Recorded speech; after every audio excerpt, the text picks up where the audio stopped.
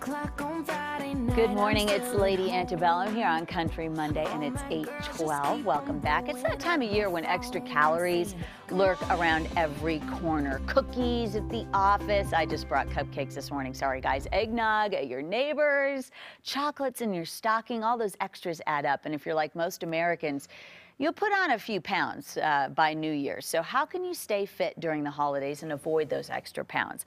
Well, Laura and Scott St. John from Pearl Street Fitness are here to answer our health questions. You guys look great. So we've Thank come you. to the right place, clearly. So what are your best tips for keeping the, that extra poundage off? Because it's what, like several pounds Eight average, to 12 right? pounds average as Americans here. Uh, Eight yeah, to 12 pounds. eight And then do people pounds. generally lose it by the, Well, when that's why everyone kind of has that ah in January. Mm-hmm. So our whole goal is to keep everybody surviving the holiday season now and being Uh-huh. mindful now. So we have cold weather coming up this week, but you still need to get outside, right?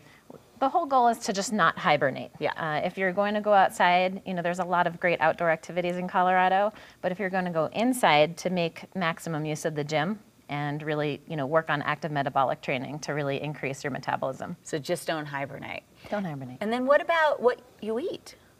Well, that's also very important. I mean, again, during the holidays, we time to tend to uh, take this as an opportunity to kind of eat a little bit more. Um, again, what we're telling our our participants at our gyms is, you know, be a little more mindful of what you're putting into your mouth.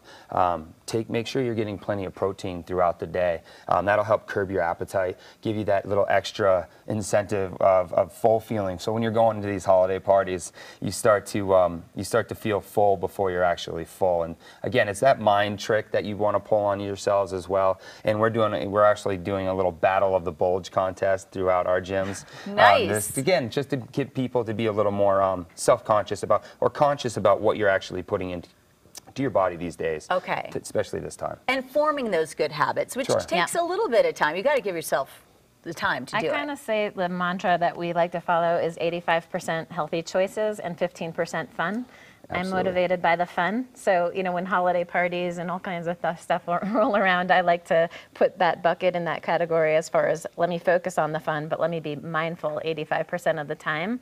And don't starve yourself during the day knowing you Uh-huh. Have those parties at night. Make sure you are eating five times a day. So true. So do you have a few moves for us? Sure, absolutely. Um, Laura's going to actually do a couple of them here while I talk Great. about it. Again, when it comes to the fitness, you don't have to have a lot of time. You don't have to have a lot of equipment. We have some straight body weight exercises you can do, starting off with a simple squat position. Um, you can go into squat elbow fly. So Laura's just going to show us. This is going to really rev it up. She's just coming in and out here. Um, you're just going to bring those elbows together at the whole time, staying down into that squat position. This gets your heart rate up, gets your whole body moving. You can drop right down into here, go into a plank position, um, activating the core here, little leg swings. We're just going to go back and forth. Again, this is all core related. Going to work on those shoulders and chest, legs, thighs. Everything's involved in here. You can even throw in a quick little burpee every once in a while. We all love burpees. I mean, oh, on. don't we all all? Burpees. I know we do. So up and down, full push up. So there you go. And then back right up. Um, there's again, again, multiple different things we can even go in from here. We can go. Everyone, we're in ski country, right? So we, we go side to side with our ski jumps, Oh, side like to side. that. Yeah, Oh, yeah. absolutely. I mean, that makes it simple. And then again, there's that same idea where you can then drop that right down into the plank position and do ski abs, we call them. So it's just knees to elbows, just knee to opposite elbow. Again, a lot involved here. Again, it just goes to show you that you don't have to have all these latest tech um, gadgets. You can just use your body and get a great workout in. Guys, great job. Love it. Thank you so much. You're welcome. Great tips. And Jen, I know you love the burpees. Yeah. Oh yeah, always burpees. You know, it, And it's virtual now for you. the bur- online. burpees Yeah, are there's like a virtual workout as well. yeah. burpees are like the foam roller. I have a love-hate relationship Yeah, with both. you hate it while you're doing it, but you love the results afterwards. So I want to take it on.